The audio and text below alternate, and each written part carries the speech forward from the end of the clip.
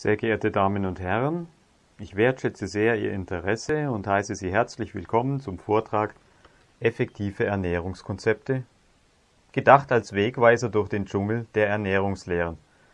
Wieso geben so viele erfahrene Menschen und Gesundheitsschulen so verschiedene widersprüchliche Hinweise?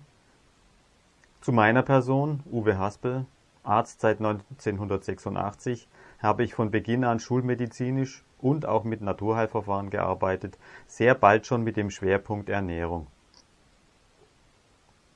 Ich spreche größtenteils aus der Sicht und Erfahrung von uns Meierärzten, welche Ausbildung in Diagnostik und Therapie nach dem österreichischen Arzt Dr. Franz Xaver Meyer gemacht haben.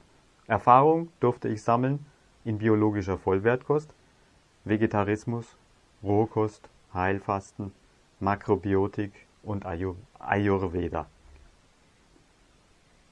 Zu einem großen Teil greife ich dankbar auf Erfahrungen anderer heilkundlicher Kollegen zurück. Auf meiner Website ist zum Herunterladen eine Liste der wesentlichen Quellen. Zum Thema habe ich dieses Rätsel mitgebracht und frage Sie, um was es sich auf dieser Skizze handeln kann. Na? Dann schauen wir uns das mal aus anderer Perspektive an. Wir erweitern die Sichtweise und haben dann folgendes Bild vor uns. Erweiterung der Sichtweise verschafft uns manchmal ein völlig anderes Bild der Wir Wirklichkeit. Wir vollziehen diesen Prozess auch am Thema gesunde Ernährung nach. Der mechanistischen Sicht gebe ich bewusst wenig Raum hier, der Mensch als ein Sammelsurium von Bauteilen und wenn eines davon kaputt geht, dann wird es ausgetauscht. So wird Gesundheit in weiten Teilen der Schulmedizin gesehen und so einfach ist es sehr selten, wenn wir nicht nur auf Länge von Leben achten, sondern Lebensgefühl und Lebensqualität ebenfalls wichtig nehmen. Weil so bedeutsam wiederhole ich tausendmal, die Probleme, vor welchen wir heutzutage stehen, können naturheilkundlich sehr einfach dargestellt werden. Wir entfernen uns mit unserer Zivilisation von der Natur und ihren Lebensgesetzen. Und so verschmutzen, verschlacken wir dabei unseren Organismus. Dieser Sand im Getriebe behindert unseren Organismus. Wir haben einfache Maßnahmen andererseits, ihn wieder sauber zu waschen, zu reinigen. Die Bürste sei ein Symbol für ein Reinigungswerkzeug, das Wasser soll den Schmutz wegwaschen. Gut, das ist ein Blickwinkel. Ein anderer Blickwinkel ist, dass wir vieles tun können, damit die Verschlackung des Körpers erst gar nicht so schlimm wird. Der Karren erst gar nicht so tief in den Dreck fährt. Einen noch anderen möglichen Blick auf die heutigen Grundprobleme zeigt das Bild des Kompasses. Wenn dieser in die falsche Richtung zeigt, dann fährt ein Schiff möglicherweise auf ein Riff und sinkt.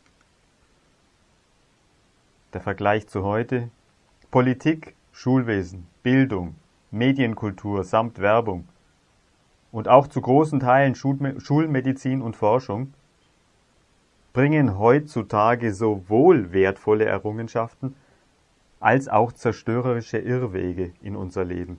Unsere Zivilisation hat in vielem die Richtung verloren und steht in der Gefahr, sich und sogar ihre Lebensgrundlage Natur zu zerstören.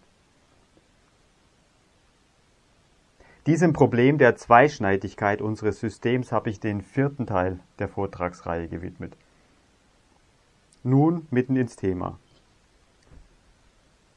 Dafür definiere ich als erstes den Begriff Gesundheit. Gesundheit heißt, wenn mein Organismus in so einem Zustand ist, dass ich möglichst gut meinen eigentlichen Lebensaufgaben nachkommen kann. Der Organismus als ein Gefährt, welches in Ordnung zu halten ist. Gesundheit heißt, wenn mein Organismus in so einem Zustand ist, dass ich möglichst gut meinen eigentlichen Lebensaufgaben nachkommen kann.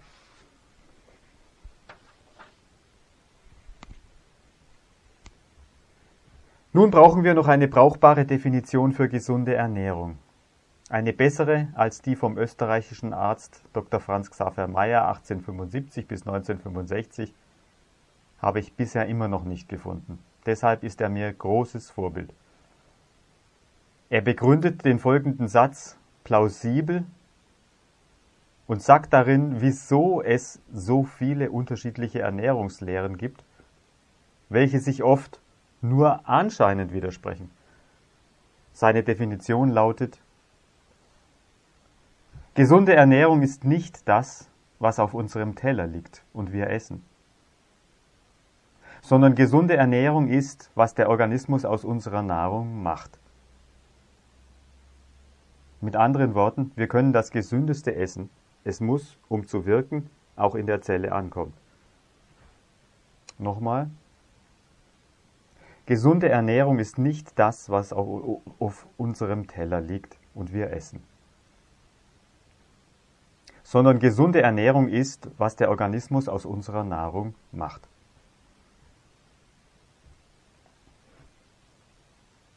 Durch diese Blickweise und die daraus folgende medizinische Vorgehensweise wird erklärlich, wie unter Beachtung von den Schlüsselfaktoren ein Mensch am Beginn der praktischen Maßnahmen so und dann so wesentlich verändert aussehen kann,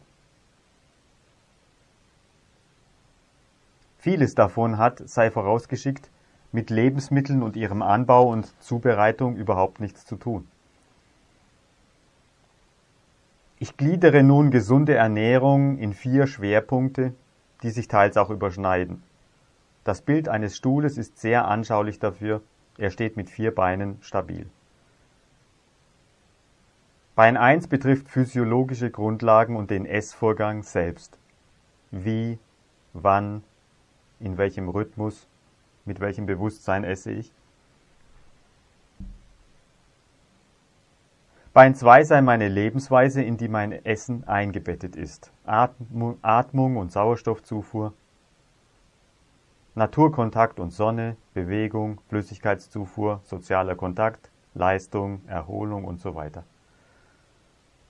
Bein 3 ist das Lebensmittel selbst mit Anbau, Verarbeitung, Zubereitung, auch Kombinationen. Und Bein 4 steht für das Weglassen von Schädlichem. Beginnen wir mit einem kurzen Überblick über Bau und Funktionen des Verdauungssystems sowie möglichen Störungen. Ich bringe speziell, was viele Menschen entweder nicht oder nur teilweise wissen, auch Zusammenhänge vom Verdauungssystem zum Gesamtorganismus. Vielen ist ein Stück bewusst, dass Mund, Zunge, Zähne sehr maßgeblich zur Verdauung beitragen. Der Spruch gut gekaut ist, ist halb verdaut, genau, ist Volksweisheit.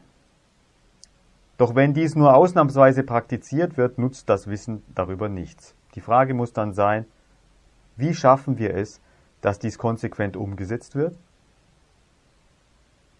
Auch wissen wir alle, dass Nase und Geruchssinn große Bedeutung haben. Wenn wir etwas Leckeres riechen, läuft vielen das Wasser im Mund zusammen. Geruch hilft bei Unterscheidung von Begömmlichkeit und auch Verdorbenheit oder Uninteressantheit von Nahrung. Die große Wichtigkeit wird klar, wenn ich das Riechen die Gesundheitsversicherung von Hase, Reh, Hund, Katze, Maus und so weiter nenne. Und wenn wir uns darin üben, dann kann es auch für uns Menschen Gesundheitsversicherung sein. Was ist der Hintergrund? Über Nervenquerverschaltung fördern wir durch bewusstes Schnuppern und Geruchswahrnehmung in Zusammenwirken mit sorgfältigem Kauen sowohl die Verdauungssäftesekretion als auch die Qualität der Säfte und die Magen-Darm-Bewegungen, die Peristaltik. Unser Zivilisationsproblem ist, dass diese Funktionen oft teils oder weitgehend verkümmert sind. In solchem Fall nützen sie uns gesundheitlich sehr wenig. Als nächstes schauen wir uns die Größe der Oberfläche unseres Verdauungssystems an. Was schätzen Sie? So groß wie ein Zimmer, 20, 30 Quadratmeter? Oder wie ein Tennisplatz? Nein, sogar wie ein Fußballfeld. Dies ist bedingt durch unzählige bis ins Feinste gehende Fältelungen, Zotten, so dass der Darm von innen wie ein Flusenteppich aussieht. Flocati haben wir im Westen dazu gesagt. Wieso ist das so? Der Grund ist, nur so kann eine optimale Auslese und dann Aufnahme der winzigen Nährstoffbestandteile stattfinden. Diese Riesenoberfläche ist immunologisch gesehen Außengelände für uns. Deshalb muss dieses geschützt werden vor unerwünschten Eindringlingen wie Mikroben, Giftstoffen und so weiter. Deshalb sitzt dort der größte Teil unseres aktiven Immunsystems, um diese Grenze zu schützen. Das heißt, dort ist unser wichtigstes aktives Immunorgan im Körper. Dazu gehört, dass dort auch die allermeisten Immunzellschulen angesiedelt sind, welche bei guten Verhältnissen im Darm den ganzen Körper mit dort ausgebildetem Schutzpersonal versieht. Misserfolge, wie wir gleich beleuchten, können zu Allergien, Krebs und anderen schweren chronischen Krankheiten führen. Nächster Gesichtspunkt. Der Darm scheidet, was wenig bekannt ist, wie die Niere aktiv Schlagstoffe und Gifte sowie Toxine aus. Diese Stoffe kommen aus dem Körperinneren. Dabei arbeitet, arbeitet der Darm mit der Leber zusammen. Das heißt, Kot besteht nicht nur aus Resten von gegessener Nahrung, sogar Fastende produzieren aktiv Kot, trotz Null Nahrungszunahme. Die Regulation des Säurebasenhaushalts ist ein nächster wichtiger Punkt. Detailliert wissen nur wenige darüber Bescheid. Deswegen die Frage, wer hatte schon Sodbrennen, saures Aufstoßen? Das wird doch als lästiges Symptom angesehen, welches auch gefährlich werden kann. Wieso ist das eine sinnvolle Körperstrategie? Und was geschieht dabei außerdem? Wissen Sie das? Schauen wir die Magenzellen an. Sie bilden in den Magen hinein Salzsäure. Das weiß ziemlich jeder. Sie scheiden allerdings gleichzeitig ins Blut Natriumbicarbonat ab. Das ist eine Base, die Abfallstoffe neutralisiert, Abfallsäuren, Müll aus verschiedenen Stoffwechselvorgängen. Dieser wird ansonsten zu Sand im Getriebe, Ablagerungen. Es kann zu Durchblutungsstörungen und vielem an Krankheitszeichen mehr führen. Säure und Base bindet sich und wird zu Salz welches dann einfach durch die Nieren ausgeschieden werden kann. Also Base aus den Belegzellen des Magens plus Säure aus den Abfallen, Abfällen der Stoffwechselvorgänge verbinden sich, werden zu Salz und werden dann durch die Nieren ausgeschieden. Das ist gesunder Säurebasenhaushalt. Deswegen sind Säureblocker eine Katastrophe gerade wenn sie über längere Zeit genommen werden. Wir behindern damit den Organismus, lebenswichtiges Bicarbonat als Base in die Blutbahn geben zu können. Wir schikanieren dadurch die inneren Reinigungs- und Heilungsprozesse. Wir unterbinden damit einen großen Teil der Neutralisierung der Abfallsäuren des Be äh, Gewebes und fördern dadurch Übersäuerung und sehr, sehr viele Krankheiten. Interessantes über das Bauchhirn: Es enthält 100 Milliarden Nervenzellen und Bahnen, ebenso viele wie das Rückenmark. Es sendet über viermal so viel Bahnenimpulse an das Großhirn, als dieses Impulse in den Bauch schickt. Daraus wird gefolgert, dass es viel einflussreicher unseren Organismus steuert als das bewusste Nervensystem.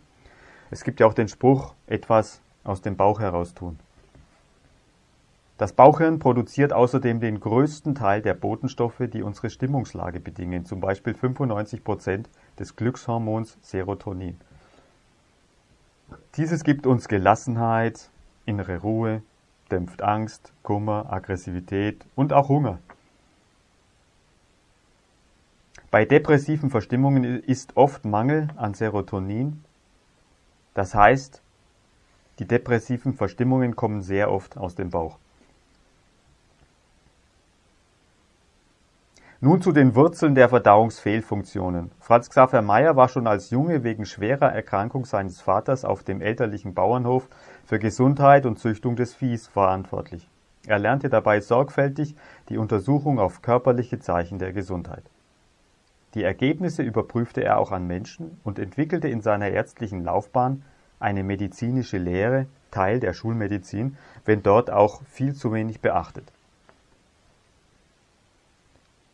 Sie hören hier also gleichzeitig Schulmedizin und Naturheilverfahren, wenn auch noch wenig populär. Was ich Ihnen nun in Kurzform zusammenfasse, finden Sie ausführlich im von mir sehr empfohlenen Buch Die Darmreinigung nach Dr. F. X. Meyer von Dr. Erich Rauch, wie der Rauch aus dem Kamin. Ich kenne noch kein Werk, in welchem die Zusammenhänge so klar umfassend und sehr gut allgemeinverständlich dargestellt werden. Kerntatsache ist, je besser die Nahrung durch unsere eigenen Organe in Teamarbeit mit der Darmflora verdaut wird, umso weniger kommt es zu Zersetzungsvorgängen im Darm. Nochmal. Je besser die Nahrung durch unsere eigenen Organe in Teamarbeit mit der Darmflora verdaut wird, Umso weniger kommt es zu Zersetzungsvorgängen im Darm, nämlich zu Fuselgärung, im Gegensatz zu wünschenswerter eigener gesunder Gärung, welche die Verdauung unterstützt. Und die andere Zersetzung, das ist die Fäulnis. Je mehr Zersetzungsstoffe im Darm gebildet werden, umso mehr kommt es zur Vergiftung der Immunzellen im Darm. In Folge dann Vergiftung des Bluts und der Körpersäfte und schließlich auch der Zellen und Organe. Hier ist die Zersetzung nochmal bildlich veranschaulicht. Sie sehen abgebildet die Aufnahme der Zersetzungsstoffe, der Fuselgärungs- und Fäulnisgifte durch die Darmschleimhaut und massive Störung der Immunzellen samt den Immunzellinseln dort.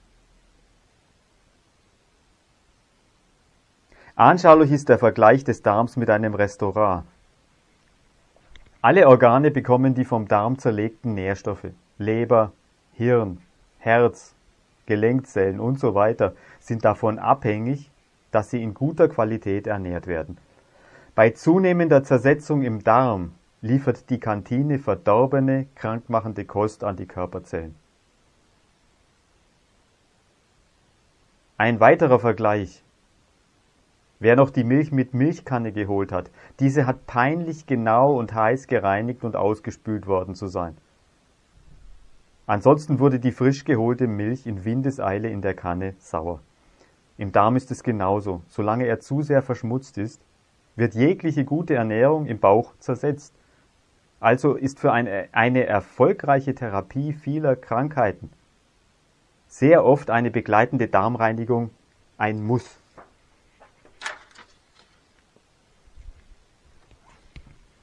Hier sehen Sie erst ein mikroskopisches Bild von reinem, gesundem, in der nächsten Abbildung von verschlacktem, verschmutztem Gewebe. Dargestellt ist hier der massive Überschuss an Kollagenfasern, rot, die aus Eiweiß und Kohlenhydraten bestehen. Die gesundheitliche äh, Folge ist eine Behinderung der Zellernährung und der Abfallentsorgung aus der Zelle. Wieder ein Vergleich. Der Körper sei eine Wohnung, die Zellen sind die Zimmer. So sehen Sie hier den Flur auf dem Gewebebild. Das ist das Zwischenzellgewebe, so wird das genannt. Es ist vollgestopft mit hinderlichem Zeug. Wer von uns würde zu Hause alle Schränke ausleeren und den Flur damit vollstellen? Dann käme ja niemand mehr durch. Aber so sieht es mehr oder weniger ausgeprägt bei vielen Menschen im Körper aus, vollgestellt, zugebaut. Verschlackung und Therapieerfolg sind auch im Großen sichtbar und im Ausmaß messbar. Wer geschult ist, sieht es an Gesicht, Haltung, Bauchform und vielen anderen Zeichen. Dieser Prozess ist meistens zeitlich fortschreitend. So kann ein Mensch mit 20 Lebensjahren so, mit 30 so, dann mit 40, 50 Jahren immer noch stärker verändert sein. Woher kommt diese desolate Situation, in der sich viele Menschen heutzutage in unserer Zivilisation befinden?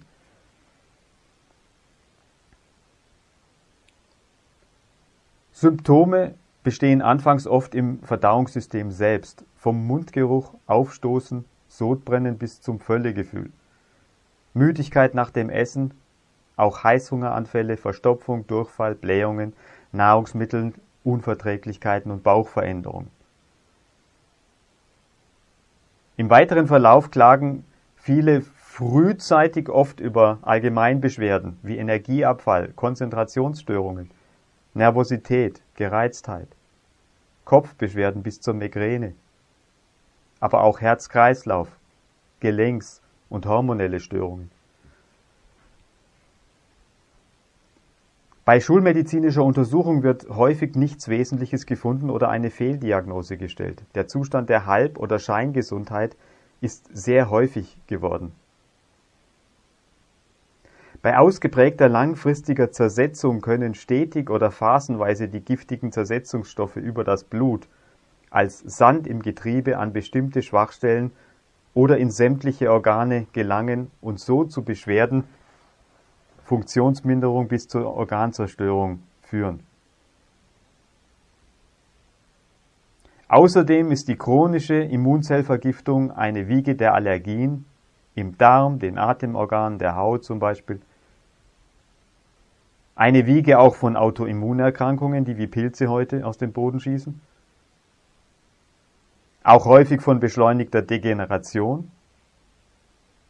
Auch von Krebswachstum.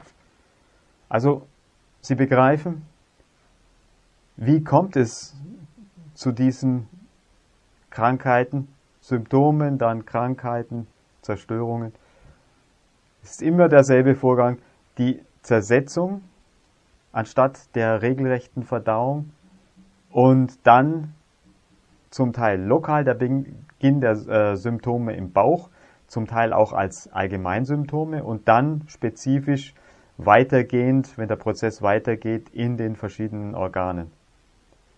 Und jetzt haben wir noch zu betrachten, was können wir tun, um diese Zersetzung zu vermeiden, um zu begünstigen, dass der Organismus die Nahrung regelrecht aufspaltet.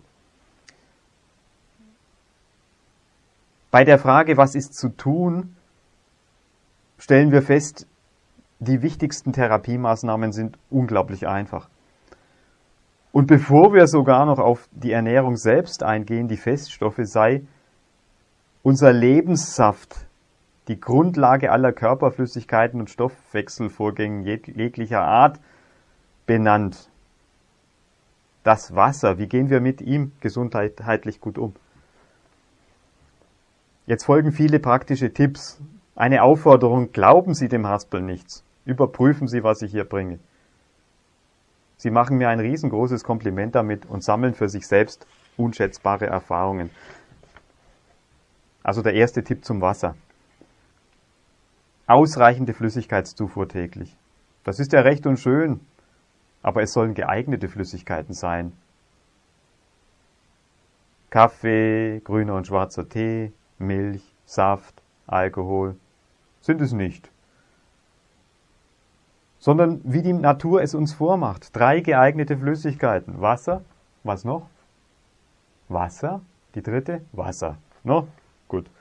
Gesundes Wasser ist optimales Getränk. Und zwar ausschließlich stilles Wasser. Die Rehe und Karnickel machen es uns vor. Wasser liefert optimale Flüssigkeit für Stoffwechsel und Nieren.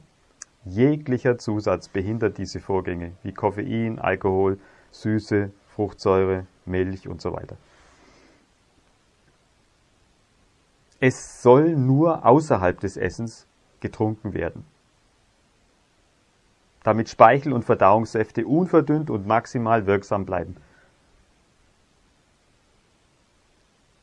Auch als Getränk ist möglich dünn gebrühter, ungesüßter heimischer Kräutertee. Melisse, Fenchel, Brennnessel und so weiter.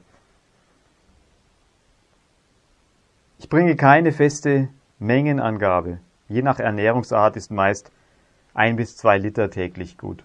Eventuell ist ein guter Wasserfilter wichtig. Mir schmeckt zum Beispiel das Bautzner Wasser manchmal scheußlich, wenn ich es direkt aus der Leitung trinke. Nun betrachten wir das Essen selbst. Was meinen Sie, ist, wenn wir das Thema Psyche mal ausklammern, bei den allermeisten Patienten meiner Praxis in 25 Jahren Erfahrung das Wichtigste bei der Ernährungstherapie gewesen? Man kann ja meinen Zucker weglassen oder wenig Fleisch oder ja, überhaupt gesunde Lebensmittel. Es war das Thema, ich sage es allgemein, wie mache ich aus den Kardinalfehlern meiner Ernährung Kardinaltugenden? Und meisten, meistens haben sich die therapeutischen Probleme schon um etwa 50 Prozent gelöst, wenn allein der erste Fehler zu schnell geändert wird nach dem Motto, gut gekaut ist halb verdaut. Das kann trainiert werden. Ich bitte um Nachsicht so natürlich nicht. So, üben Sie bei einer Mahlzeit täglich in Ruhe zu essen, damit Sie wirklich auch jeden Bissen 50 Mal gekaut kriegen bei normaler Bissengröße. Ja, und das kann Leben verändern. Dafür ist wichtig, dass guter Anreiz zum Kauen besteht. Püriertes oder in viel Soße schwimmendes oder Suppe bietet dies wenig. Machen Sie sich die Soße im Mund selbst. Trinken Sie Ihr Essen. Im Speichel, bildlich gesehen. Essen Sie absolut nicht unter Stress oder bei Trauer, Ärger, Sorgen oder gleichen Sie sich psychisch vorher bestmöglichst aus. Noch ganz oben anstehender Grundsatz. Dann lassen Sie strenge Pausen zwischen den Mahlzeiten. Der Grund ist, damit die Verdauungsschritte jeweils zu Ende kommen können. Der Magen ist wie ein Schreibtisch. Es gibt ein Riesendurcheinander, wenn ständig neue Akten draufgelegt werden, ohne dass die alten abgearbeitet sind. Dann essen Sie abends frühzeitig, vor 18 Uhr und wie ein Bettler, um Fuselgärung und Selbstvergiftung aus dem Darm über Nacht vorzubeugen. Über Nacht schaltet die Eigenaktivität der Verdauung weit herunter. Deshalb riskieren wir um ein Vielfaches mehr als am Tag, dass wir Schmarotzer im Darm füttern. Candida und viele andere Konsorten. Was ist ein Bettler abends? Nichts. Ein chinesischer Spruch sagt, das Abendessen gibt deinen Feinden. Eventuell nehmen sie um ihrer Gesundheit willen nur zwei Mahlzeiten täglich ein. Mit Nachdruck sei die Bewegung erwähnt als wichtige Verdauungsunterstützung. Ich empfehle täglich eine Stunde an frischer Luft, mäßig flott, dass Sie etwas ins Schwitzen und Herzklopfen kommen. Und ich erinnere an den Spruch, nach dem Essen sollst du 1000 Schritte tun. Auch anderes, was den Energiefluss unterstützt, auch Wirkung von dosierter Kälte, vor oder mit Abstand nach dem Essen, kann wichtige Verdauungsunterstützung sein, Lebenswecker. Sind nun der Knatsch mit Chefin, Chef, Kollegen, Schwiegermutter, Schwiegervater oder schädliche Stressfaktoren im Griff? Machen wir uns selbst auch nicht das Leben zu schwer dann lassen Sie uns loslegen mit gesunder Kost. Nach dem bisher Gehörten kann die Idee aufkommen, dass es relativ egal ist, was wir genau essen, wenn wir dies in richtiger, zuträglicher Art und Weise tun. Ein Hörer brachte als Kritik, dass anscheinend die verschiedenen Ernährungsschulen nur Modeerscheinungen seien, ohne fundierten Nutzen für uns. Ob es nun fettarm, kohlenhydratarm, glutenfrei, vegetarisch, Trennkost oder sonstiges sei. Ich bringe hier auch nicht Hinweise auf eine bestimmte perfekte Ernährungsrichtung, sondern stelle unterschiedliche Erfahrungen hier zusammen. Es ist von uns einerseits zur Kenntnis zu nehmen, dass manches in manchen Fällen gut funktioniert, manches funktioniert in manchen Fällen gut und bei manchen Menschen wiederum überhaupt nicht. Allerdings kann bei diesen anderes wiederum guten Erfolg zeigen. Vieles ist noch zu wenig erforscht oder bringt noch zu widersprüchliche Ergebnisse, um abschließend beurteilungsfähig zu sein. Allerdings, es gibt Gemeinsamkeiten, das betone ich jetzt sehr, es gibt Gemeinsamkeiten, welche sich in lange bewährten und verbreiteten Ernährungsrichtungen immer wieder finden. Diese Gemeinsamkeiten sind verlässliche rote Fäden für eine gesunde Ernährungsweise. Ich fasse diese kurz zusammen. Erstens. Gesunde Ernährung soll verwenden möglichst, was vor Ort erhältlich ist. Regionalität. Zweitens, es soll genutzt werden, was saisonal erhältlich ist. Drittens, die Lebensmittel sollen möglichst naturbelassen sein was teils ausgelegt wird als roh. Oft ist allerdings Erhitzen und Kochen ein wichtiger Bestandteil der Zubereitung. Damit sind wir bei großen heutigen Problemen. Ich zitiere Frau Dr. Johanna Budwig. Promovierte Biochemikerin, Pharmazeutin und später auch Heilpraktikerin. Ihr gelang als erster im Labor die Trennung von Fett in einzelne Fettsäurearten. Sie forschte dabei auch über die Giftigkeit, die Toxizität der Transfettsäuren. Und das haben sie vom Prozess, wie das Fett in seiner Struktur verändert wird, sicher auch schon ge äh, gehört.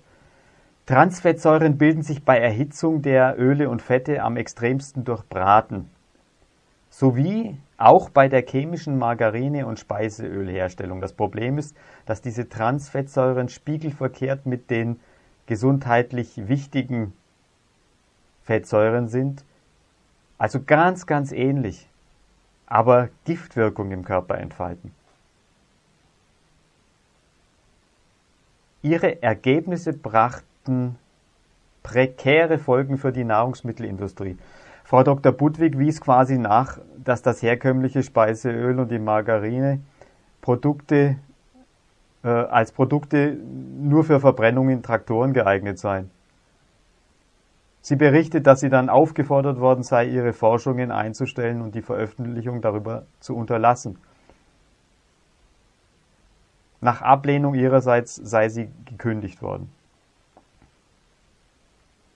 Also herkömmliches Speiseöl und herkömmliche Margarine am besten zum Abschmieren oder in den Tank. Mit ihrem Beitrag zur Krebstherapie durch Omega-3-Fettsäuren, speziell mit Hilfe von Leinöl als einem Hauptbestandteil der Diät, hat sie unzähligen für Sterbenskranke erklärten geholfen, dem Tod von der Schippe zu springen. Quark-Leinöl-Diät. Was sagt sie über das Allerwichtigste der Nahrungsqualität? Mit fünf Ausrufungszeichen. Wenn ihr nicht 100% die Chemie aus der Ernährung herausnehmt, dann braucht ihr mit dem anderen gar nicht erst anzufangen. Für dermaßen wichtig erachtet sie diesen Gesichtspunkt, wenn ihr nicht 100% die Chemie herausnehmt aus der Ernährung. Und lasst das andere doch gleich bleiben. Gemeint sind Konservierungsmittel, künstliche Süßstoffe, Farbstoffe, Geschmacksverstärker und so weiter. Ich gehe noch viel weiter. Auf meinen Wildpflanzenführungen lasse ich die Teilnehmer auf dem nebenan gelegenen, mit Agrarchemie bewirtschafteten Feld nach Wildpflanzen suchen und üblicherweise finden sie keine einzige Pflanze außer Raps oder Mais mehr. Weil alles andere Lebendige vergiftet ist. Und dann ziehe ich den Schluss und stelle die Frage, ist es wirklich die entscheidende Sache, dass wir biologisch angebaute Lebensmittel wegen unserer eigenen Gesundheit kaufen und essen?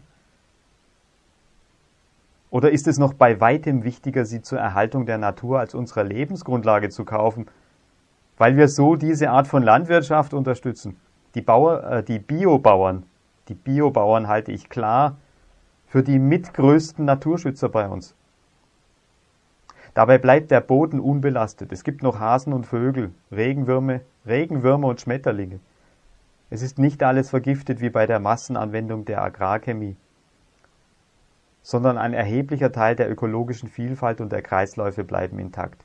Und das sichert nicht nur unsere, sondern auch, das sichert auch die Gesundheit der nachfolgenden Generationen.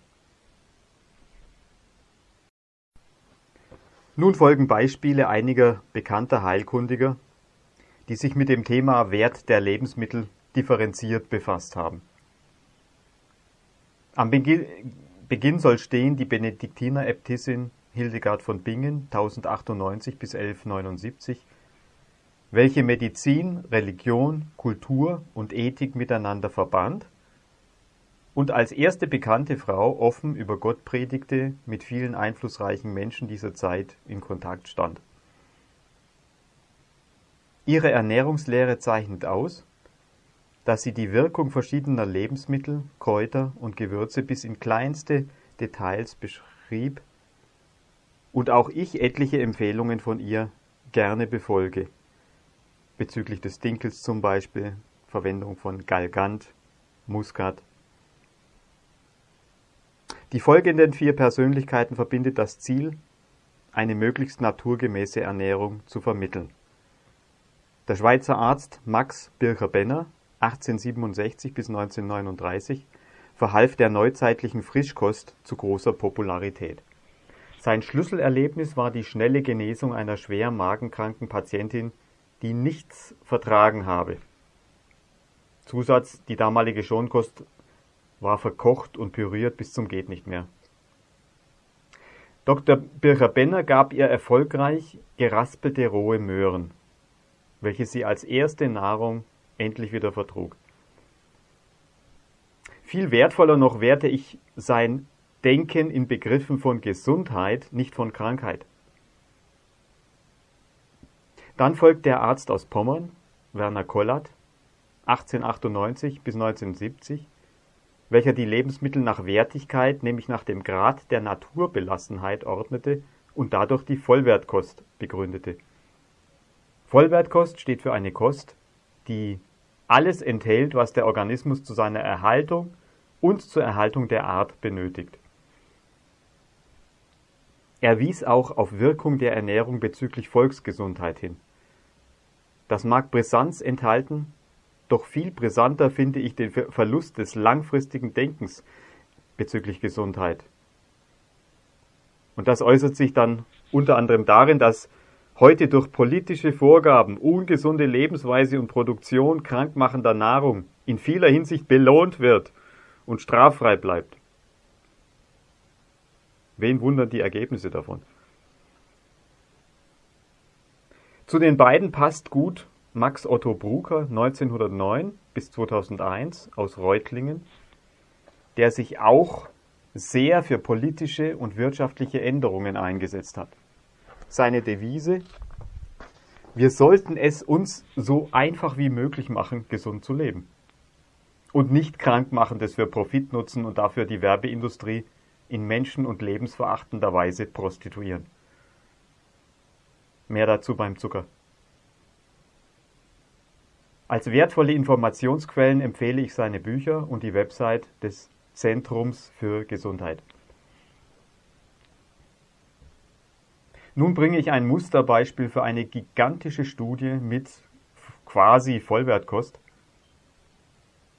die Dänen sind von der Grippewelle 1918 verschont geblieben, weil ein ganzes Volk sich dem Plan des umsichtigen Arztes Mikkel Hindhede, Vorsitzender des Ausschusses für die Planung der dänischen Lebensmittelversorgung, über Jahre gesund vollwertig ernährt hat und auf diese Weise ein gut trainiertes Immunsystem hatte.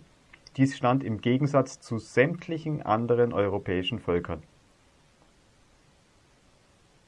In Dänemark wurden 1916 80 Prozent der Schweine ans Ausland verkauft, die Kleie nun statt als Schweinefutter der menschlichen Ernährung zugeführt, also oft ins Brot reingebacken, frei werdende Futteranbauflächen für Getreide und Gemüse verwendet, das Bierbrauen auf die Hälfte reduziert, das Schnapsbrennen ganz eingestellt, so dass Dänemark anders als Deutschland und viele weiteren Staaten keine Hungerprobleme und Epidemien verzeichnete und die Sterberate unter das Vorkriegsniveau sank, auch ab 1918 während der Zeit der sogenannten Spanischen Grippe, die mehr Todesopfer gefordert haben soll als der gesamte Erste Weltkrieg, nämlich 50 Millionen Menschen. Die Schweizer machten es den Dänen übrigens im Zweiten Weltkrieg gleich, haben fast dieselben Maßnahmen bezüglich Volksernährung ergriffen. Und sie erzielten ein ähnlich erfreuliches gesundheitliches Ergebnis. Also zwei Riesenversuche mit Millionen von Menschen. Und auch der Tatsache, dass ja im Grunde Grippeimpfung unnötig gemacht werden kann. Ja, das will ich auch noch sagen. Diese zwei Erfahrungen zeigen auch, wie nebensächlich Impfungen für ein gesundes Immunsystem sind. Wenn Menschen gesund leben und wenn von politischer Seite dafür Sorge getragen wird, dass jede, jeder gute gesundheitliche Lebensgrundlagen haben kann, begonnen mit reinem Trinkwasser, guter Hygiene, mitsamt der Erziehung dazu, trockener, ausreichender, warmer Wohnung, gesunder Nahrung, sozialer Sicherheit und Frieden, dann können die Selbstheilungskräfte in guter Funktion sein. Und entweder wird eine sogenannte Infektionskrankheit vom Organismus im Keim erstickt, oder sie kann vom Immunsystem viel besser bewältigt werden und die Prognose ist wesentlich günstiger. Im dritten und vierten Vortragsteil soll mehr auf das Impfen eingegangen werden und auch viele Beispiele gezeigt, statistische Kurven aus staatlichen Melderegistern, wo daraus gefolgert werden kann, dass aller Wahrscheinlichkeit nach die Ursache für den Rückgang der Infektionskrankheiten die verbesserten lebens- und hygienischen Bedingungen sind und die Impfkampagnen praktisch null Veränderung bei der weiteren Besserung gebracht haben. Also sehr eindrucksvoll, diese Kurven mal genau zu studieren. Weiter bezüglich Ernährung. Nicht fehlen dürfen die Roh- und Urköstler. Ein Beispiel ist Franz Konz, 1926 bis 2013, der sich wegen Magenkrebs, der schulmedizinisch diagnostiziert worden sei, selbst mit Urkost und Urmedizin erfolgreich therapiert habe. Er lenkt den Blick sowohl auf den besonderen Wert von Rohkost und gleichzeitig auf die dringende Einbeziehung von Wildpflanzen in die Palette zur Versorgung mit wichtigen Vitalstoffen und Mineralien, zum Beispiel hat die Brennnessel hohe Konzentration von Eisen und Calcium. Wildpflanzen insgesamt sind eine wichtige Protein- und Ballaststoffquelle. Sehr informativ, allerdings oft sehr unangenehm hetzerisch gegen die Schulmedizin ist sein bekanntes Werk Der große Gesundheitskunst. Sehr wertvoll finde ich sein Eintreten für Gesundheitsbewusstsein insgesamt. Bei der ganzen Lebensweise sehr achtsam auf die Naturgesetze zu schauen. Sein umfassender Blick. Dann erwähne ich stellvertretend für viele andere David Wulfe, er gibt hilfreiche Hinweise, den Rohkostanteil beim Essen zu vergrößern, unter guter Bekömmlichkeit, die Lebensmittel sinnvoll zu kombinieren und die Rohkost gut an zivilisatorische Umstände anzupassen. Eine besondere Rolle bei den Rohköstlern spielt Guy Claude Bourget oder Burger, welcher lehrt, sich wieder mehr wie Reh und Wolf zu ernähren. Wer von Ihnen hat einen Hund oder eine Katze oder ein anderes Tier? Haben diese auch nur ein einziges Mal gefressen, ohne vorher mindestens ein bisschen an der Nahrung zu schnuppern? Oder haben Sie dies bei irgendeinem anderen Säugetier jemals beobachtet? Der Geruchssinn ist die Lebensversicherung der Säugetiere. Außerdem ist er verbunden mit dem Riechhirn, unserem ältesten Großhirnanteil, unseren Urinstinkten. Sie kennen sicher die Sprüche Lunte riechen, jemand nicht, nicht riechen können. Das stinkt zum Himmel. Bei der Instinkto-Rohkost wird streng nur das gegessen, was angenehm riecht. Mehr noch, was vor Appetit das Wasser im Munde zusammenlaufen lässt. Es wird immer nur ein Lebensmittel pur gegessen, eins nach dem anderen. Also erstmal, was weiß ich, zehn Minuten Möhren gegessen und dann möglicherweise fünf bis zehn Minuten mit Brokkoli weitergemacht und dann kommen die Nüsse oder Mandeln dran. Es ist völlig schlüssig, dass dies funktioniert, weil ja sämtliche Säuger so leben. Nur Vorsicht! Wir Menschen haben mit einzuberechnen, dass unsere Instinkte durch Zivilisationsschäden verdreht sind. Beispielsweise ist auch absolut unnatürlich, dass außer in bestimmten begrenzten geografischen Gebieten das ganze Jahr über Obst als Nahrung erhältlich ist. Das ist unnatürlich. Auch unnatürlich, dass wir heute quasi nur überzüchtete Obst- und Gemüsesorten haben, die zum Teil um ein vielfältiges überzuckert sind. Andererseits keine oder nur sehr geringe Mengen an Bitter- oder Ballaststoffen enthalten, was deren Bekömmlichkeit massiv beeinträchtigt.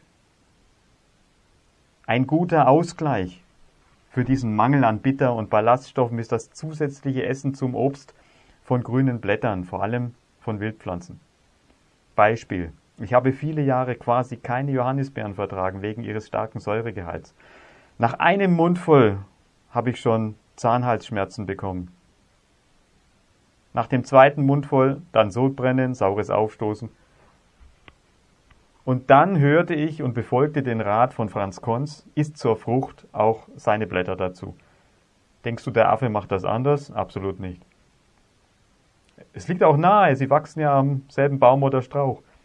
Das Ergebnis war, dass ich im Garten meiner Vermieterin von 40 mir in Anführungszeichen geschenkten Johannisbeersträuchern, sie hatte nämlich das Marmeladekochen randvoll satt, am Ende der achtwöchigen Erntezeit 38 ratzefatz leer gegessen hatte, ohne dass ich nur ein bisschen Probleme bekam.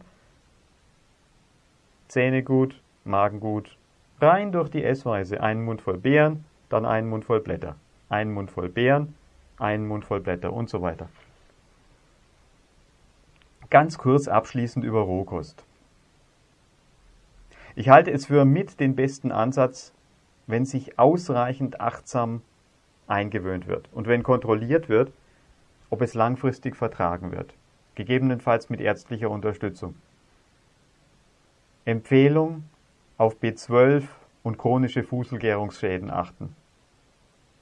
Nicht zu viel essen, kein Obst abends, nicht zu häufig, frühzeitig genug essen vor 18 Uhr. Dr. Meyer berichtet die eindrucksvolle Geschichte vom hyperaktiven Fritzle, der in der Schule schlechte Noten brachte, kaum zu bändigen war und völlig genas, nachdem die Eltern überzeugt werden konnten, ihm abends nicht mehr eine Birne oder einen Apfel hineinzuzwingen, welcher ihm sowieso nicht geschmeckt hatte. Durch die Fuselgärung von Zucker und Obstsäure über Nacht war er am folgenden Morgen regelmäßig teils noch etwas angedüdelt, teils verkatert gewesen. So einfach kann der Umgang mit Verhaltensauffälligkeit manchmal sein. Praktischer Hinweis. Zu, jede, zu Beginn jeder Mahlzeit fünf Minuten lang Wildpflanzenblätter pur sehr ausgiebig kauen. Gut geeignet ist zum Beispiel Löwenzahn, aber auch Giersch, Brennnessel, viele andere. Buchhinweis von Guido Fleischhauer, Fleischhauer, essbare Wildpflanzen. Wunderbar. Steht sehr viel drin und es passt auch gut in kleine Taschen.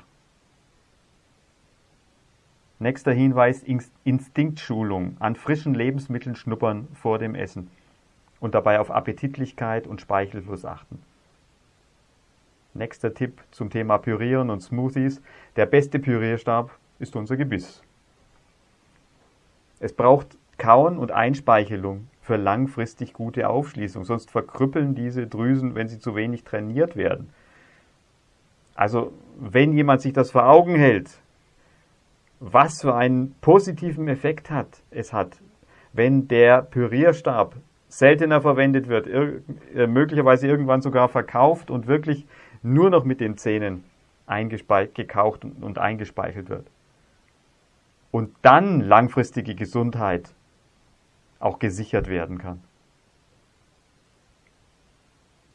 Mit dem Pürierten züchten wir langfristig Schmarotzer in unseren Eingeweiden. Und wieder ein Vergleich dazu. Die Vitalstoffe, die im Essen und auch im Pürierten sind, das ist die Ware für unsere Zellen. Der Speichel und Verdauungssaft sind die Transportarbeiter und LKWs. Viel Ware braucht viel LKWs. Viel wertvolle Stoffe in der Nahrung braucht viel Kauen und Einspeicheln und den Speichel dazu. Ganz einfach. Dann nächste Kostform. Die paläolithische Kost, auch Paleo Diet, Höhlenmenschenkost, Steinzeitkost genannt. Sie geht davon aus, dass unser Verdauungssystem sich nicht oder zu unvollständig an die Lebensmittel angepasst hat, die durch Ackerbau und weitere Zivilisierung geschaffen worden sind. Dies betrifft insbesondere Milchprodukte, Getreide, Zucker, gepresste Öle, aber auch Salz, Alkohol, Kaffee, gezüchtete Hülsenfrüchte und so weiter. Die genaue Zusammensetzung der Paleokost wird verschieden, beschrieben. Typisch sind Gemüse, Obst, Nüsse, Wurzeln, Fleisch und Fisch. Eine große US-amerikanische Naturheilärzteorganisation berichtet von großen Erfolgen dieser Diät bei vielen Zivilisationskrankheiten. Ich beobachte die Entwicklung und Erfahrungen mit Wohlwollen und Interesse. Sogar bei Alzheimer beschreiben sie erstaunliche Besserungen und Heilungen. Nun folgen zwei altbewährte Lehren, zuerst Ayurveda. Es ist das älteste überlieferte Gesundheitssystem. Der Ursprung von Ayurveda findet sich in der vedischen Hochkultur Altindiens, deren Blütezeit viele Jahrtausende zurückliegt. Das Wissen wurde ursprünglich nur mündlich von Generation zu Generation weitervermittelt.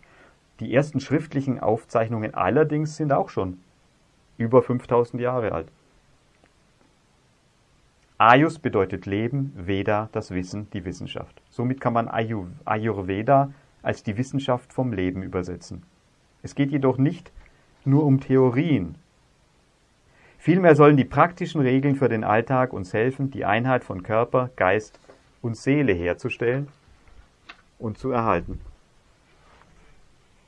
Es ist ein ganzheitliches Lebenskonzept. Ayurveda lehrt, wie man seine Gesundheit, Vitalität und Lebensfreude bis ins hohe Alter erhalten kann. Werkzeuge zur Selbstanwendung sind Reinigungstechniken, zum Beispiel nach Aufstehen am Morgen, das Abkratzen des Zungenbelages, eine fundierte Ernährungslehre, dazu gehört auch spirituelle Yoga-Praxis und ausgefeilte Pflanzenheilkunde.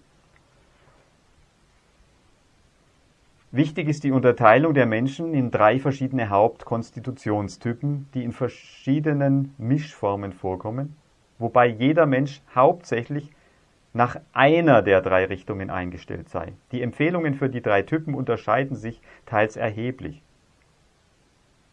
Bestimmte Grundempfehlungen werden an alle Typen gegeben, zum Beispiel qualitativ hochwertige Lebensmittel nehmen, in Ruhe essen. Der Lufttyp Vata soll regelmäßig warm und fetthaltig essen. Im Gegensatz zum Feuertyp Pitta, der für Rohkost prädestiniert sei.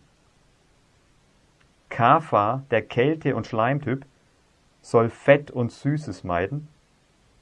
Ihm werden komplexe Kohlenhydrate, den Reis zum Beispiel, und Gemüse empfohlen. Ja, so kann doch das Ergebnis dann für den Einzelnen sehr unterschiedlich in der Empfehlung ausfallen. Und nun nach China. Da ist es ähnlich in der Vorgehensweise. Die traditionelle chinesische Medizin ist auch Jahrtausende alt, arbeitet auch sehr differenziert mit Heilkräutern und auch mit Körpertechniken, Tai Chi, Qigong und Spiritualität. Die Übertragung der Ernährungslehre auf in westlichen Ländern übliche Dinge wird Ernährung nach den fünf Elementen genannt. Und da wird auch jedes Lebensmittel energetisch klassifiziert, aber jetzt nicht nur in die Zugehörigkeit zu verschiedenen Elementen, Holz, Feuer, Erde, Metall und Wasser in diesem Fall, sondern auch in Yin und Yang. Man kann das so umschreiben wie kalt, warm, passiv, aktiv, dunkel, hell, energiegeladen, energiearm, aufnehmend, gebend. Jeder Mensch hat auch eher mehr Affinität grundsätzlich zu Yin oder zu Yang und auch zu bestimmten Elementen.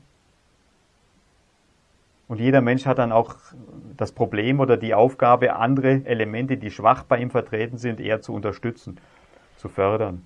Die Ernährung dient dazu, diese Harmonien zu fördern und zu erhalten.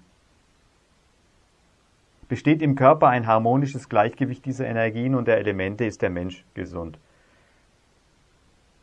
Mein Kommentar dazu, das Ganze ähnelt einem Baukastensystem, einem, einem Puzzle, welches sehr klar strukturiert ist. Ich finde es sehr einleuchtend, auch wenn ich jetzt selber äh, nur sehr wenig Erfahrung damit habe.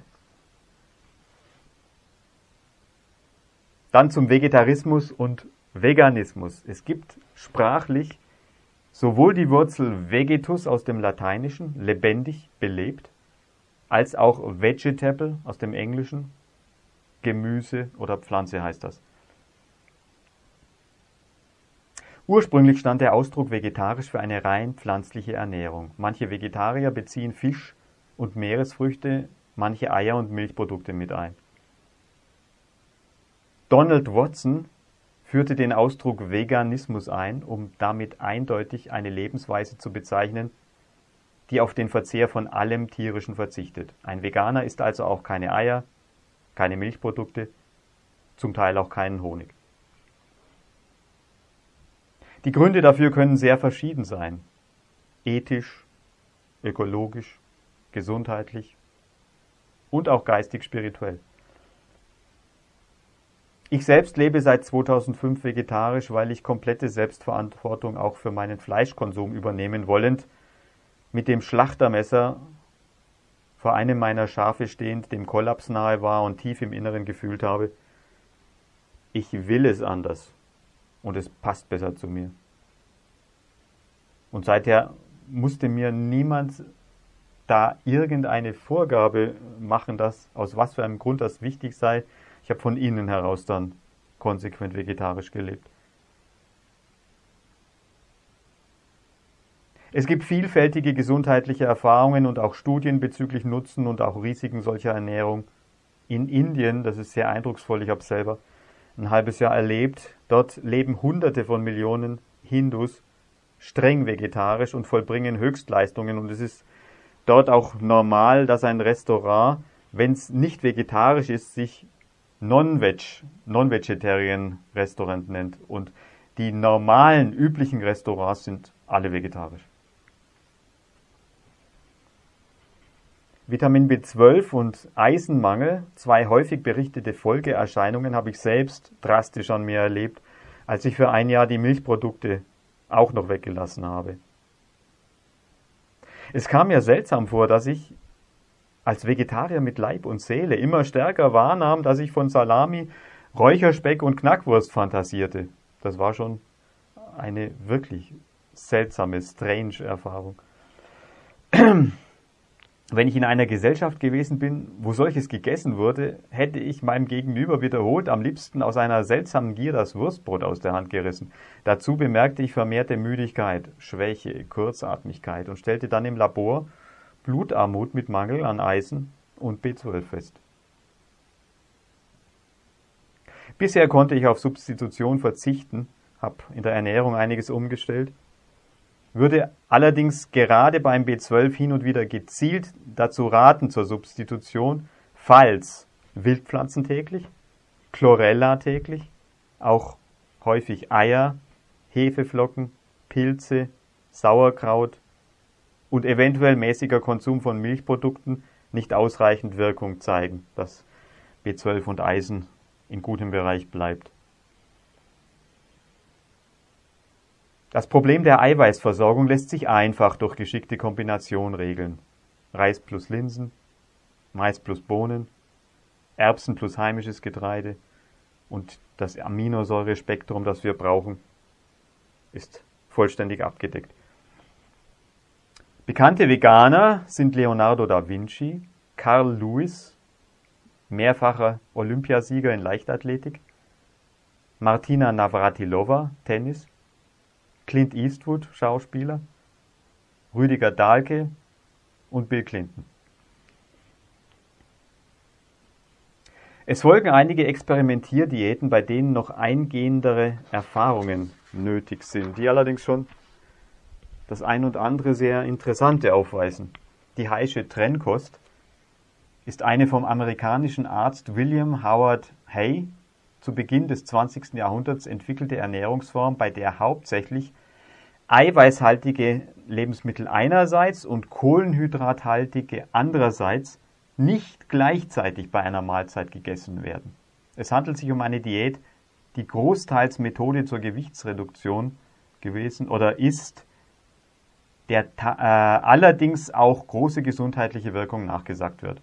Es darf fast alles gegessen werden, unabhängig auch von der Menge. Nur eben die Bratwurst ohne Pommes oder die Pommes ohne Bratwurst die Kartoffeln ohne Schnitzel oder die Nudeln auch ohne Schnitzel oder umgekehrt, Schnitzel ohne Nudeln. Selbst habe ich etwas Erfahrung damit und es liegen einige günstige Berichte mir vor. Es mag insgesamt gut sein für Konsumenten größerer Mengen an tierischem Eiweiß. Dann die Blutgruppendiäten sind ein alternativmedizinisches Diätkonzept, das auf der Theorie des amerikanischen Naturheilkundlers Peter de Adamo beruht. Es wird postuliert, dass Menschen mit unterschiedlichen Blutgruppen Lebensmittel evolutionär, also aufgrund ihrer genetischen Entwicklung in verschiedenen Kulturen, unterschiedlich gut vertragen. Eine entsprechende Einschränkung der Auswahl soll die Gesundheit und das Wohlbefinden verbessern und das Krankheitsrisiko senken der Nulltyp, Blutgruppe 0, der Jäger, sei danach eher ein Fleischesser.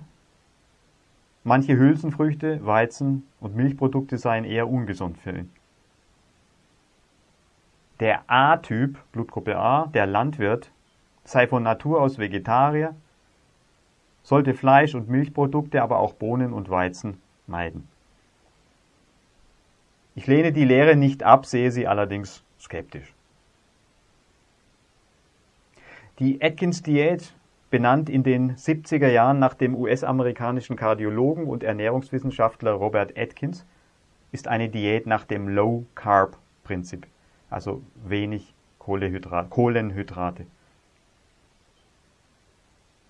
Sie reduziert die Aufnahme der Kohlenhydrate am Anfang drastisch auf 20 Gramm maximal täglich und nutzt Fett sowie Protein als, Protein als Hauptenergieträger.